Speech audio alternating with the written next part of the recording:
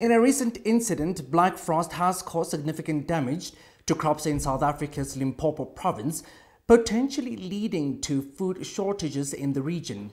The Transvaal Agricultural Union of South Africa has reported that key crops like potatoes, tomatoes and other vegetables were affected by the frost on Sunday morning.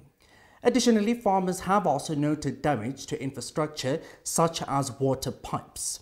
Now, according to the TLUSA North Chair Hank van der Graaf, feedback from farmers indicates substantial losses, raising concern about potential food shortages in the province.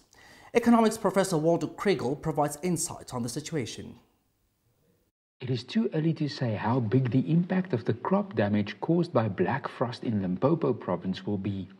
This concern is specifically about the potato crop, since it's the only part of the country that can grow potatoes this time of year.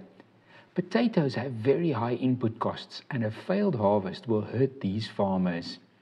For consumers, a smaller supply getting to market will translate into higher prices.